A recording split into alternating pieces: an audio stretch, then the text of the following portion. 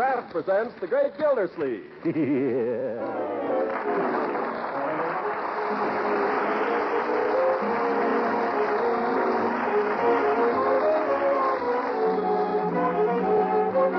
The Kraft Cheese Company will also bring you Bing Crosby every Thursday night. Present each week at this time Harold Peary as The Great Gildersleeve, written by John Whedon and Sam Moore.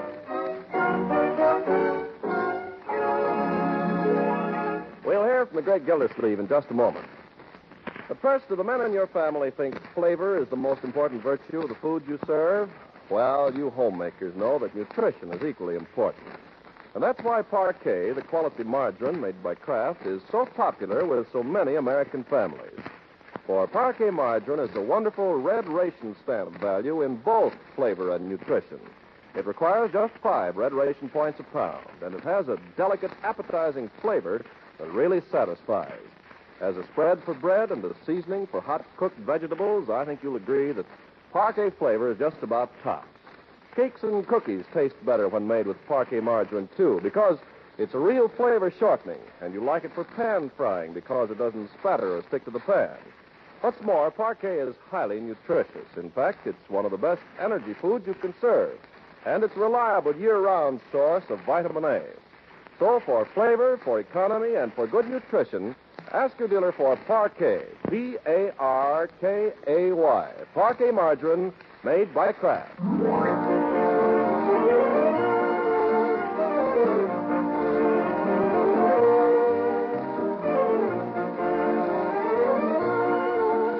Now, on to Summerfield and the great Gildersleeve. It's the last day of May, just four weeks before his wedding day, and Gildersleeve is a busy, busy man. This morning, while others make preparations for the Memorial Day exercises, the great man is in his study, straightening out his affairs and clearing the decks for matrimony. So we find him now with pen in hand, laboring over the composition of a mighty document. I, Throckmorton P. Gildersleeve, being of sound mind and body, do hereby devise and bequeath. Uh, Uncle Mort, excuse me. Yes, Marjorie? Come out and see it. Come out and see what? The flag. We've got it out. Oh, well, a little while, my dear. Right now, I'm Oh, very. come on. You aren't doing anything, and it looks so pretty. Not doing anything, my dear young lady. I happen to be engaged in one of the most solemn duties of a man's lifetime. Do you know what I'm writing? Oh, fool. Anybody think it was your last will and testament? Now, come on. But, but, hey, hey, let go. Come on. Uh, Well, let me put down my pen first. I don't know what there is such a rush about anyway. I've seen the flag before. Well, we found a new place for it, and we want you to see it. Oh, where? We've hung it from the roof. How did you ever get it up there? And Leroy climbed out the attic window. Come out in the yard and tell us if you like it. Well, We want the place to look nice when the parade goes by. oh, and Leela's coming over, too. Good. So's Ben. And Birdie's planned a wonderful lunch. There. Do you like the flag, Jen? How does it look to your artistic eye, Unc? Well, it looks fine, Leroy. Only for heaven's sakes, be careful up there. Don't worry. Isn't it pretty?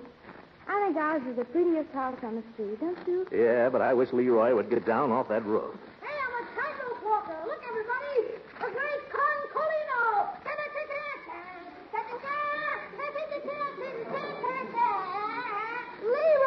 Leroy. Get off of that railing. Oh, I can't look. Young man, you get in off that roof before I come up there after you. Are you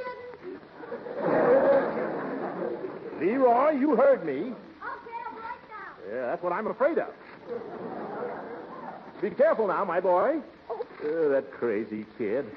What comes over, boys? I don't know. It's a wonder to me he's lived as long as he has. Oh, that reminds me. I got to get back to work. Uh, call me when it's time for the parade. Oh, we won't be along for an hour yet. Parades, tightrope walkers, more interruptions. People just let me alone till I get this will finished.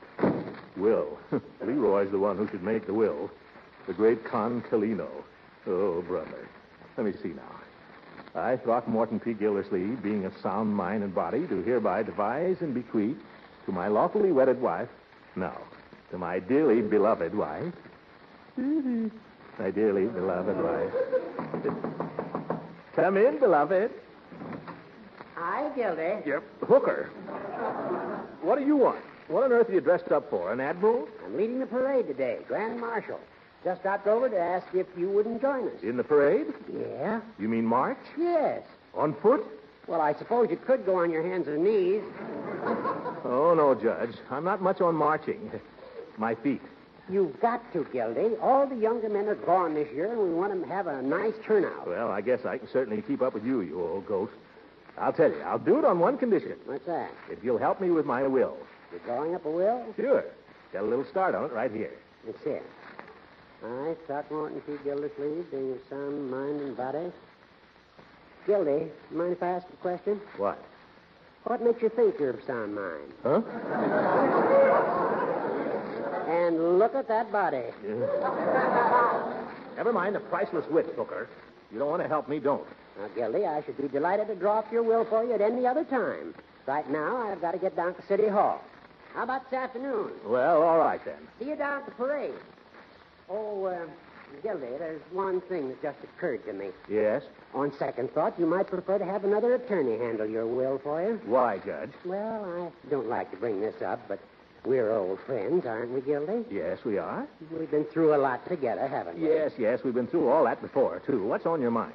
You may not be aware of this, but under the law, it is illegal for persons witnessing or drawing up a will to be beneficiaries.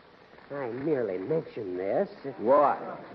Well, we're such old friends, and we've been through so much together. I just thought if, if you should want to leave me some slight remembrance. Judge, I'm going to leave you a lock of my hair.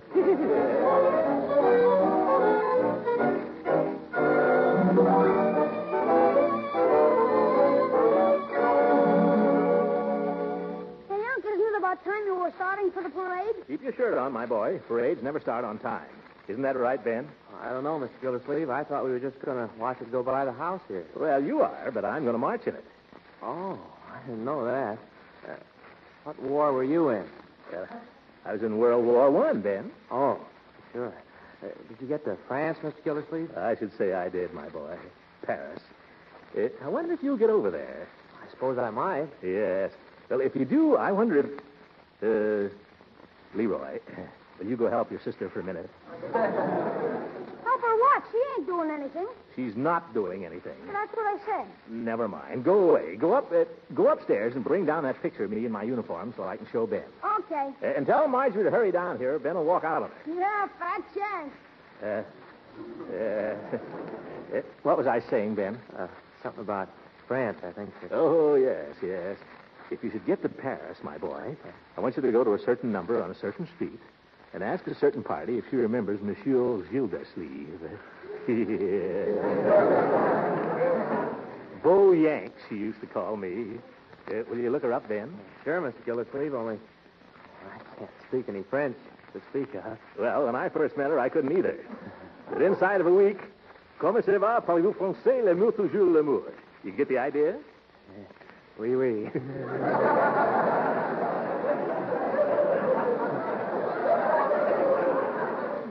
Oh, she was a lovely creature, Ben. And her mother. Oh, boy, how she could cook. I think you'll like her, Ben. sure. She's a blonde, just 28 years old in 1918. Uh, let me see. That would make her. Uh, 53. Ew, it's not possible. Oh, my goodness, how time flies. Here's the picture, Unc. The boy commando in person. Uh, I don't care to see it now, Leroy. 53. Poor Mimi. I can't believe it. Oh, gosh, Unc, what's the matter? Nothing. Go help Marjorie. For Pete's sake, aren't you through talking about Paris? Uh, Leroy, you're getting too fresh. Oh, that's Mrs. Ransom. We have a little signal. You, Throckmorton. uh, in here, Leela. Hello, everybody. Uh, good morning, sweetheart. I, I think the flag out in front looks just beautiful. Uh, Leela, I've got a surprise for you. I'm going to march in the parade. Why, Martin. how exciting. Would you like to see his picture in uniform, Mrs. Ransom? Leroy, give me that. Oh, now, Throckmorton, I want to see you. Oh, why, you were cute in your uniform. Cute? Mm, Wasn't he, Ben? Well, Just let it go, my boy. Well, I, I don't insignia on your uniform, Throckmorton. Beauregard used to have here on the shoulder. Uh, Please? Oh, well, I didn't go into the Army at the top. I went in as a private and won my promotion the hard way. How'd you come out, Unc? Corporal.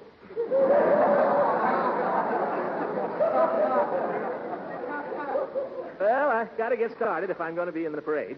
The boys are assembling behind the courthouse at 11. Goodbye, Leela. I'm off to the war. Oh, uh, wait a minute, Throckmorton. What's the matter? You're not going to march in the parade in just that little old business suit, are you? Uh, for what else? Well, your uniform, silly. Oh, I couldn't, Leela. Oh, but you'd look so distinguished. It would look out of date, Leela. The uniforms today are entirely different. Oh, Throckmorton, you ne- never do anything I ask you. I do too, Leela. I just, uh, I just don't know where my uniform is. I know, Unc. It's up in the. Leroy.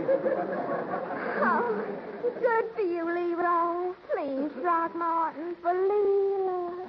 Uh, all right. Leroy, you come with me. Little sharp eyes.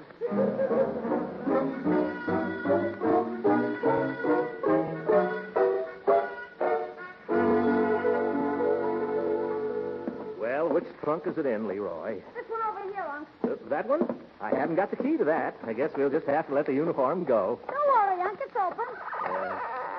Ooh. Mothballs. Come on, Leroy. Fish it out of there. I haven't got all day. Here, here's the pants. Gosh, they look a little small, Unc. Uh, yeah, well, this stuff shrinks, you know. Yeah? Yeah. Besides, mothballs will shrink anything, Leroy. Well, I don't find any puttees in here. Maybe we just better let the pants go. Okay, here's the coat. Blouse, Leroy, blouse. Oh, blouse. Funny how it looks as if the mothballs cut that down, too. What did I tell you? Yeah, well, I think maybe I can get into it, though. Here, hold my coat. Okay. Yeah, probably be a little tight, but it'll sort of give a military effect. See? See? I got it on. Yeah. Yeah, but can you button it? Oh, of course. Uh, you ought to remember that when I was in France, I weighed several pounds less than I do today. Are you kidding? Yeah. By George, it feels good to get back in the old uniform. Come on, Leroy, let's show the ladies.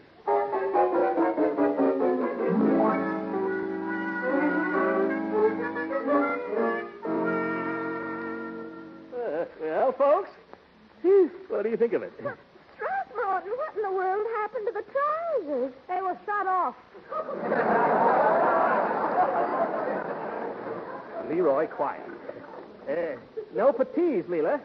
Can't wear them without puttees. Oh, well, the coat looks awfully military. Uh. I think you'll be the handsomest man in the whole parade. I honestly do. Oh, well, that's all I wanted to know, Leela. Well, I'm off. Uh, I kiss your hand, fair lady. Oh, don't bend over. Glad I didn't try to wear the pants.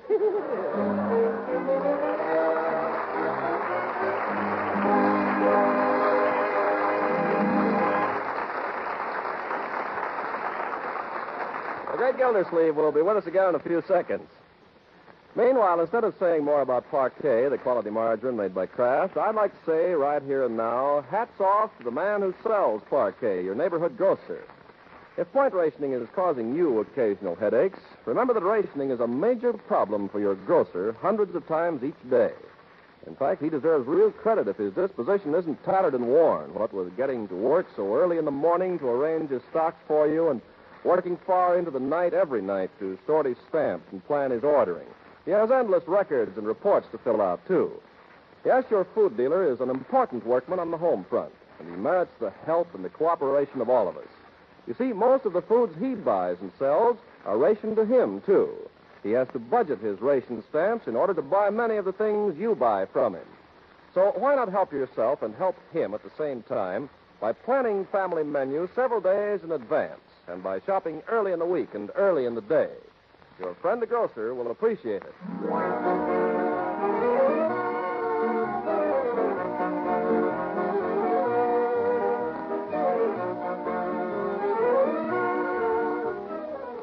Let's get back to the great Gildersleeve. Clad in the conservative business suit, he's marched valiantly in the hot sun, and now he's arriving at his home to claim the soldier's reward. In this case, a share of the delicious lunch which Birdie's promised. But our hero's a little late, and the house seems strangely quiet. Marjorie, Leroy, where is everybody? Is that you, Mr. Gilsleeve? Of course it's me, Birdie. Where is everybody? Well, they waited for you, Mr. Gilsleeve. They waited about two hours before they had lunch. You've been marching all this time? Oh, yes, Birdie. I marched so far, my feet are killing me. When I'm so hungry, I don't care. Well, you just sit down and take your shoes off, Mr. Gillsleeve, and I'll warm up a nice lunch for you right away. Uh, thank you, Birdie. You're... Did you march so long, Mr. Gillsleeve? Well, it wasn't all marching, Birdie. We stood there in the park for a couple of hours listening to the speeches. But it certainly was impressive. Makes a man think, Birdie. Yes, sir. I'd like to be remembered by everyone as a man who did something for the city. Well, sir, you the head man at the waterworks. Well, I'm Summerfield's 16th water commissioner, yes. But a few years from now, who'll know it? That's what I've been thinking about some sort of a monument for, Birdie. You mean like a statue? Well, I don't know. You think that'd be good? Oh, no, sir. I don't care much for statues. Uh? Now, you take them two statues in the park. Every time I walk past Abraham Lincoln standing there, I feel sorry for him. Why? Because he's been standing there so long. Yes. what about the statue of General Fremont? Don't you like that? No, sir. Every time I go past that, I get mad. But why? Because he's got a horse and I'm walking. and he ain't even going nowhere. yeah, you're right. I'm afraid you just don't like sculpture, though, Birdie. Oh, yes, I do, Mr. Gilsleeve. You know what I like? What? That fountain in front of the courthouse with the water spraying down and the goldfish swimming around down below. I like that. So do I. By George, a fountain, Birdie. For a water commissioner, what could be better? With a little bronze plaque on it. Not too little. Let's see. Uh, this fountain presented to the city by uh, Summerfield's 16th Water Commissioner, Throckmorton P. Gildersleeve. Then maybe some short, dignified statement like, uh, he served his fellow townsmen well. Sounds mighty pretty, Mr. Gilsleeve. Yes, sir. I can hear the water splashing in the fountain right now. So can I. Oh, my goodness, the gravy's boiling over. Yeah. Gravy? Mmm, Birdie, I'm starving. Well, hang on, Mr. Gilsleeve. You can't starve to death till you get that monument. Yeah, you're right, Birdie. I'm going to have Judge Hooker put in that fountain in my will right now.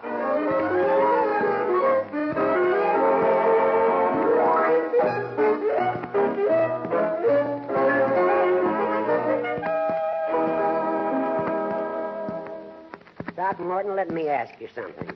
Why are you suddenly in such a sweat to make a will after letting it go all this time? Well, for one thing, I think it's a man's duty to make a will, for one thing. Yeah? What else? Well, uh, Leela mentioned it once or twice. Oh. And anyhow, I think it's a man's duty. You can't tell. Things can happen. Here I am about to get married. Gildy, it strikes me that you're preparing for marriage as if you were preparing for the next world. Now, see here, Hooker. That's not true. All right. Sorry. Sorry. Not true, but I shouldn't have said it. Yes. I'm sorry. Uh, If I'm to draw up this will, I'm going to require certain information. such as what? Well, to begin with, how much money have you got? Don't you wish you knew? Well, I've got to know. What for? Gildy, if you want me to help you with your will, you've got to take me into your confidence. Well, all right, Judge. What do you want to know? I ask you, how much money have you got? None of your business. I tell you, you'll tell everybody in town. Gildy, what passes between a lawyer and his client is strictly confidential. Uh, You know that. Come on now. How much have you got? cash? Cash.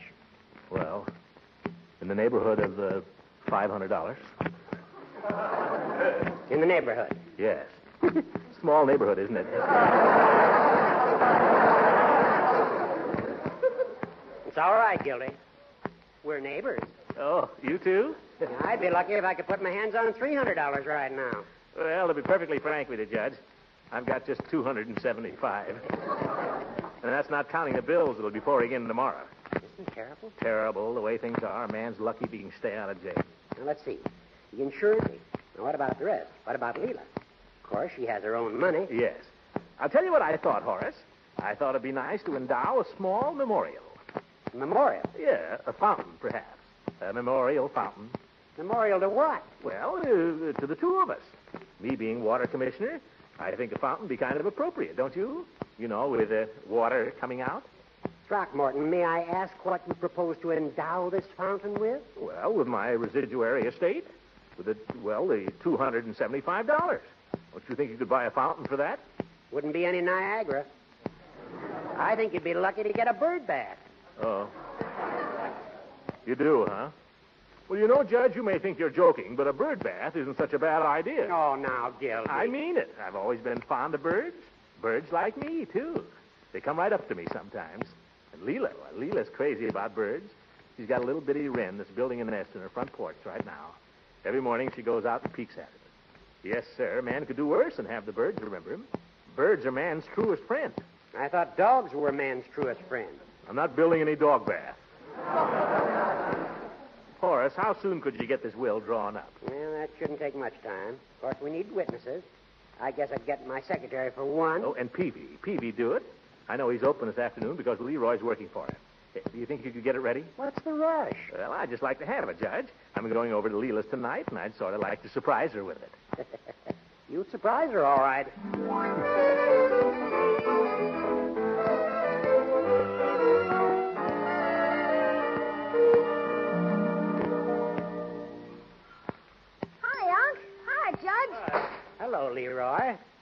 drug business? Pretty quiet. The chief is out in the prescription room, and you know what that means. What? Leroy, that's no way to talk about Mr. Peavy. I'd like to see him for a moment, please. Oh, gosh, Unc, can't I wait on you? I never get a chance to sell medicine. But with you, it wouldn't matter if I made a mistake. I disagree, my boy. Oh, just try me, Unc. I can find you anything in the store, practically. Then find Mr. Peavy. Honest, the chief doesn't like it if I bother him about something I can handle myself. Leroy, What? wake up the chief. Oh, all right. Maybe we shouldn't bother Peavy if he wants to sleep. What nonsense. Peavy sleeps 24 hours a day anyway. Oh, hello, Peavy. I hope we didn't interrupt anything important. No, no, I'll just take care of you gentlemen, and then I can get right back to it. How are you, Judge? Fine, thank you, Peavy. I saw you gentlemen in the parade this morning. Thought you both looked very dashing. Well, glad to do our bit, Peavy. How does it happen you weren't marching? Someone told me you were an ex-soldier. Yes, sir. I was in the artillery. 49th Field Artillery, USA. Well, I'll be darned. Were you a gunner? Uh, No, I wasn't a gunner. I, I was in what you might call the transportation end of the artillery. Oh, what's that? I commanded a platoon of mules. You? That's hard to believe, Peavy. Why, the mule is the stubbornest animal known to man. Well, now, I wouldn't say that. Although a mule has a mind of his own, I'll admit. But they're hard workers. They are? Yes, they're hard workers. And they're loyal. Every mule in my platoon was just as loyal as a jackass could be. Gildersleeve, can't we get down to business here? I haven't time to listen to Peavy's military experiences. I, I'm sorry, Judge. I'm just going on. What can I do for you? Well, you won't make a penny on it, Peavy. We just want you to witness Mr. Gildersleeve's will, if you don't mind. Glad to, Judge. Glad to be of service. Oh, Leroy, Yes, Chief? this is the type of service I was telling you about yesterday. Institutional type. Oh, yeah. Have you uh, got the document with you, Mr. Gildersleeve? Right here, Peavy. Get away, Leroy. This is none of your business. Unc, did you leave me anything? You've been amply provided for. Uh, sign right here, Peavy. Unc, will you leave me your pistol that's in your bureau drawer? No. Oh, please, Unc. Now, Leroy, remember lesson one. The customer is always right. Oh, sorry, Chief. I forgot. All right. Now, here, Judge. That's it. Richard. Stevie. Here you are, Mr. Gildersleeve, and I hope your will gives you the same lasting satisfaction as mine has given me. Well, I hope so, too. I executed my will in 1913, naming my wife as sole beneficiary, and I've never wanted to change a syllable of it. Neither has Mrs. Peavy. Well, I, I can imagine. Well, much obliged, Peavy. We got to be running along now. No, I'm going to close up here myself in a minute. Leroy, you want to go along now with your uncle? Are you sure you can spare me? I think so. All right, I'll see you tomorrow. Good night, Chief. Good night, little beaver.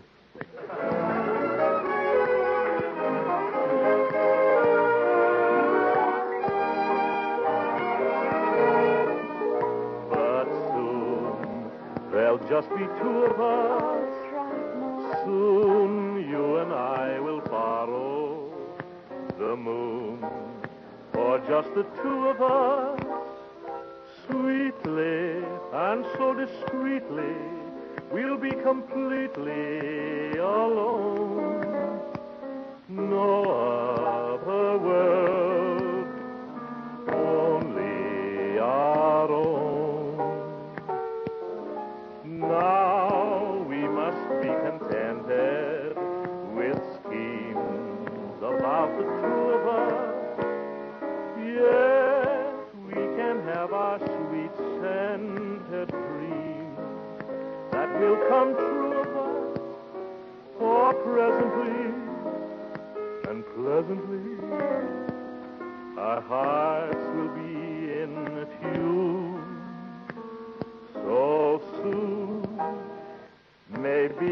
tomorrow, Leela, but soon. Leela, Yes, Throckmorton. I uh, made my will today, Leela. Oh, did you, darling? How nice. Yeah, have it right here in my pocket. Uh, Leela, you know something? What, darling? Guess who's in my will? Oh, I couldn't. Uh, go on, Leela. Guess, will you? Oh, I couldn't possibly. I'm too happy to guess. I'm too happy to care about anything.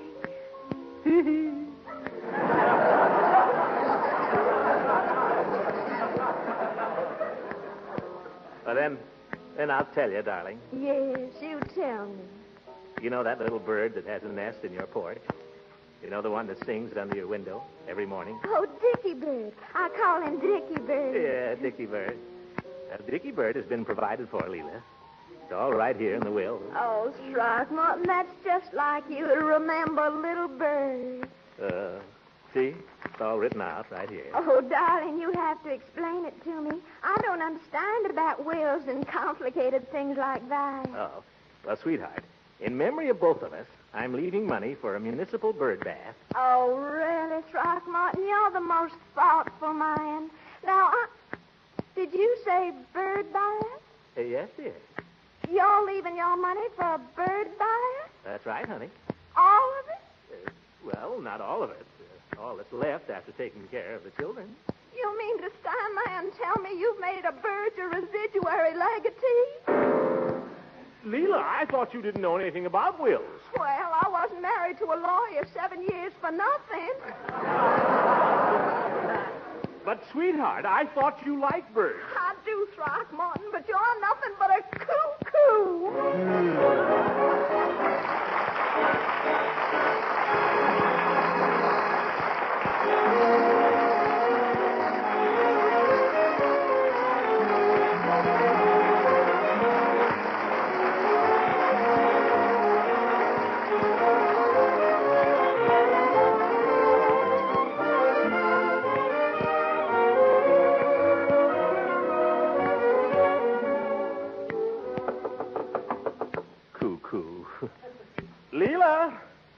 Gets all upset over a bird.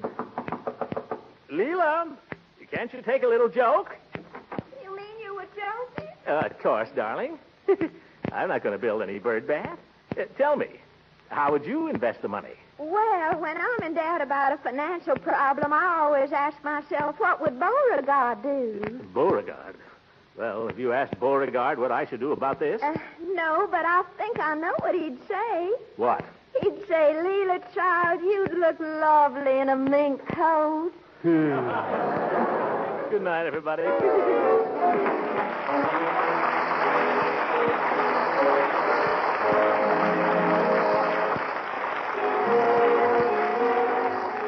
Music heard on this program was under the direction of Claude Sweeten. This is Ken Carpenter speaking for the Kraft Cheese Company, inviting you to listen in again next Sunday for the further adventures of the Great Gildersleeve.